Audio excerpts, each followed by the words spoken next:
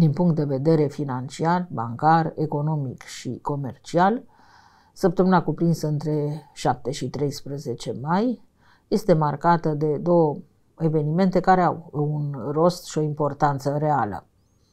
Primul dintre evenimente este legat de intrarea în mișcare aparent retrograd a planetei Mercur în ziua de 11 mai, ceea ce va crea o serie de oscilații în gândire, atitudine sau în decizii. Oamenii nu vor mai fi chiar atât de hotărâți, vor avea îndoieli, se vor consulta și, aflând lucruri contradictorii, vor ezita să meargă mai departe pe calea punerii în aplicare a unui proiect, a unui act, a unui document, comercial evident, pentru că au nevoie să se lămurească, au nevoie de timp să cântărească, să mai afle, să cerceteze. Ceea ce pe fond nu e un lucru deloc rău, este prudența necesară sau revizuirea necesară înaintea unei decizii importante. Mai sunt și tot felul de factori de moment care complică buna înțelegere, armonia, negocierea, consultarea, medierea. Și aici avem de-a face cu tot felul de tehnici de manipulare care în această perioadă care va dura până în iunie, de retrogradare mercuriană va scoate la iveală și niște carențe. Oamenii vor afla că lucrurile nu au fost chiar așa în realitate, că s-a exagerat, că s-a dosit un document, că s-a măsluit o realitate, că s-a forțat nota și că, de fapt, a existat o doză mare de imprecizie sau de incorectitudine. Eu am denumit-o adineauri manipulare. Prin urmare, nu putem spune că nu avem elemente interesante pentru a fi mult mai înțelepți și a nu ne repezi să spunem da oricărei oferte sau să mergem pe mâna celui cu care se discută o chestiune importantă care este prezentată într-un fel bun. Pentru că este clar că după o perioadă vor apărea și deficiențele. Al doilea eveniment astrologic important pentru viața economică este traseul planetei Jupiter, care în ziua de 11 mai va intra în zodia berbecului. Și din această perspectivă va pune alte baze noi, multor aspecte care țin de acest uh, sector, care înseamnă producție, câștig, marfă, vânzare, circulația mărfurilor, a banilor, a ideilor și a oamenilor, mecanisme comerciale care sunt ghidonate de oameni care au și ei niște interese de pus în practică. Jupiter în berbec nu aduce liniștea și calmul necesar unei dezvoltări economice. Nu știu în ce măsură va mai funcționa în totalitate ca un protector și ca un benefic.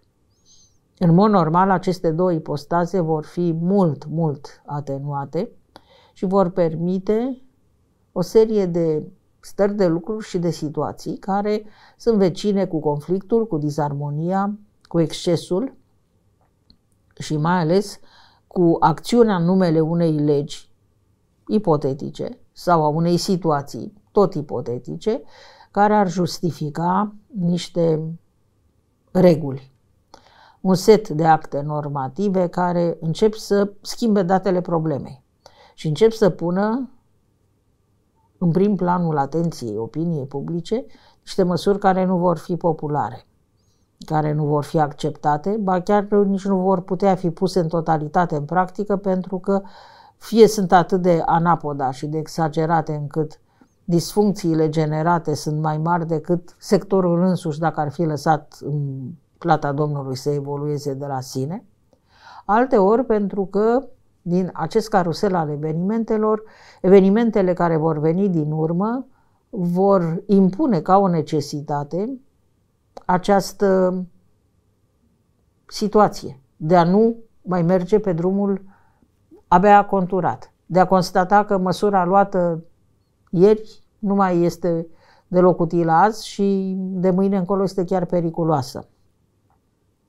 Spun toate acestea metaforic se înțelege, pentru că lucrurile se precipită, evenimentele curg într-o cadență majoră și se poate vorbi de multă instabilitate cu privire la doctrine, la idei, la păreri, la interese. Unele interese vor fi abandonate, alte interese nu neapărat justificate sau bune sau necesare, vor fi luate în brațe, impuse cu forța, apoi se va constata că s-a greșit, se va recurge prin aceleași metode la alte variante, la fel de, să le spunem, păguboase sau găunoase și povestea se va repeta.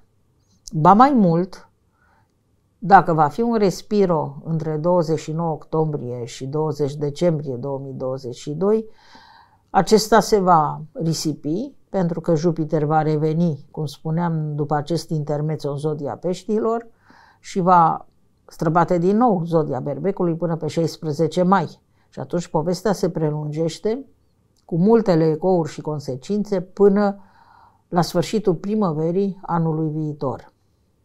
Deocamdată, așa cum arată harta, avem de a face cu mult idealism și cu multă speranță sau cu multă detașare și rupere de adevăr. Undeva lucrurile nu se leagă, nu sunt coerente, pentru că unii oameni nu înțeleg niște mecanisme. Hai să nu-i facem de vină ca și cum ar fi incompetenți, nu înțeleg pentru că nu sunt în posesia datelor, că dacă le-ar avea, ar înțelege foarte corect despre ce este vorba. În sfârșit, să mai notăm că săptămâna viitoare, în mod special, stă sub semnul unei duble quadraturi între Saturn, Soare și sensul vieții pe direcția vărsător Taur, ceea ce nu este absolut deloc în favoarea mecanismelor economice care privesc Pământul. Pământul, zona subterană, exploatările de orice fel, am mai spus-o și săptămâna trecută, petrol, sare, apă, dar și o serie de resurse să le spunem, strategice. Se conturează destul de multă ostilitate care pleacă în mod nejustificat de la un argument care devine pretext. Argumentul are logică și credibilitate, pretextul nu are decât ambiție și putere sau voință, capacitate de a deforma realitatea. Din această perspectivă, lucrurile se complică din punct de vedere economic prin măsuri arbitrare, prin gesturi subiective, dictatoriale, prin impunerea voinței, prin intermediul apelului la lege, într-un chip care se va dovedi foarte repede că nu a fost corect, că a fost exclusivist sau excesiv sau a fost de-a dreptul un experiment.